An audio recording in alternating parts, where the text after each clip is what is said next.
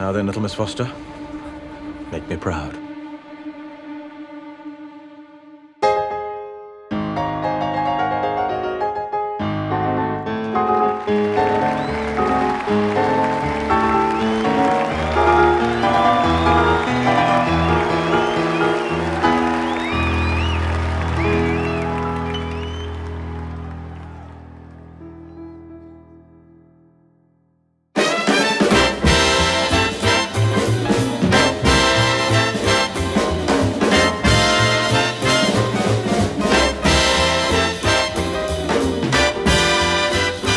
Want to try another take? Well, I don't see why. That seemed perfect to me.